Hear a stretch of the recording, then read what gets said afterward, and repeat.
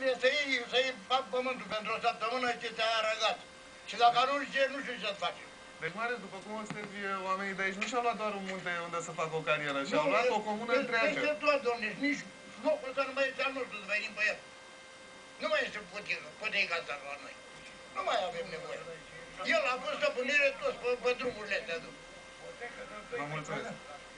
Bun. Deci, cam asta e rețeta mare. Să vii ușor, ușor, îți aduni, îți aduni uh, prietenii în Consiliul Județean, în Consiliul Local uh, anterior, după care pui piciorul pe o comună întreagă.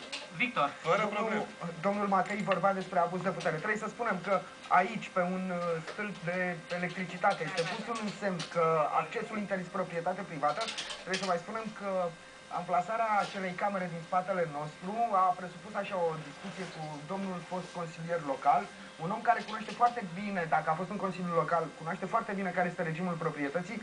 Dumnealui ne-a avertizat că amplasarea acelei camere se va face pe riscul nostru. Mă gândesc că și dumnealui se riscă totuși în fața atâtor uh, cetățeni care nu prea simpatizează din ce am văzut. Da. Ne asumăm împreună riscul, nu?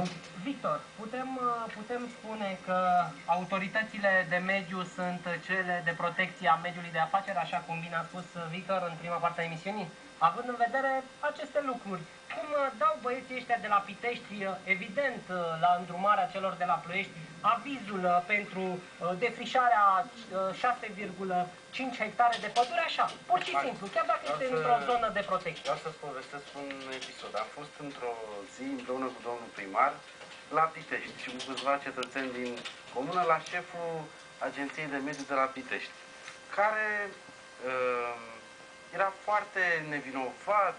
Uh, când a aflat că sunt de la presă, nu, domnule, niciodată vă garantez eu că nu se va da aviz să se facă carieră acolo.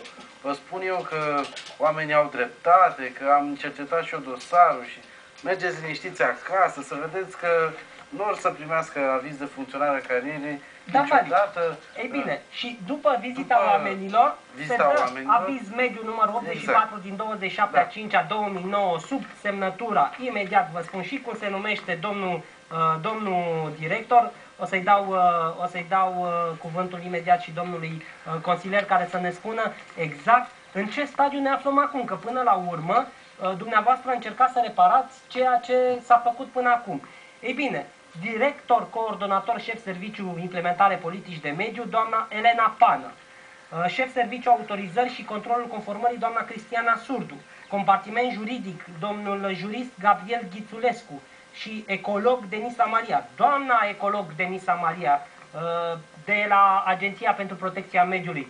Doamne, dați-vă, nu știu, dați-vă altă denumire. Ecolog la ce? Când dumneavoastră aprobați defrișarea a 6 hectare de pădure dintr-o zonă de protecție, vă permite să scrieți aici ecolog? În fine, domnule consilier.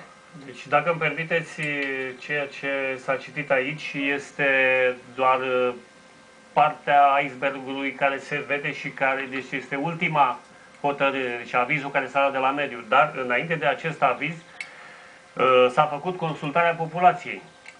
Deci consultarea populației care a avut loc în Măgureni, în prezența șefului de atunci al Agenției Regionale de Mediu, uh, domnul uh, Marius Stanca. Și domnul, domnul Stanca am vorbit, a, a vorbit cu domnul Stanca. Deci domnul Stanca a venit la consultarea populației, Uh, acolo sunt filmări făcute și de noi și de alte posturi de televiziune, deci s-a văzut opoziția totală a populației împotriva acestui proiect.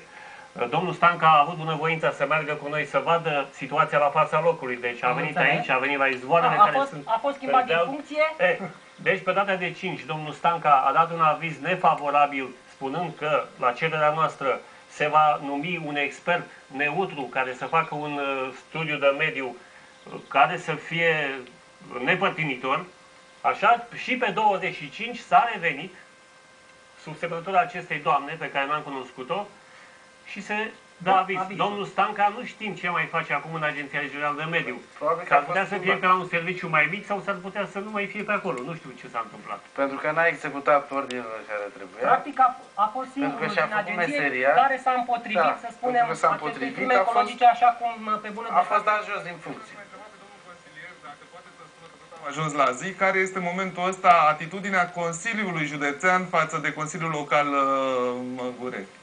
Deci nu avem, uh, nu avem niciun semnal de la Consiliul Județean. Deci din momentul în care s-a discutat problema uh, la Consiliul Județean, la, la Comisia Tehnică de Urbanism, când am fost dați afară, uh, după aceea nu s-a mai primit niciun semnal de la Consiliul Județean. Nu neapărat către consilier, ci către autoritatea publică locală, deci către primar și viceprimar. Do- Domnul consilier, dar eu știu că uh, s-a, Consiliul Local Măgureni a votat o hotărâre, Consiliul Local actual, Da. prin care uh, În, în septembrie 2008. atacă în contencios administrativ Da, uh, da, da. uh, avizul dat de fostul primar și... Da, da. Și ce s-a uh, întâmplat?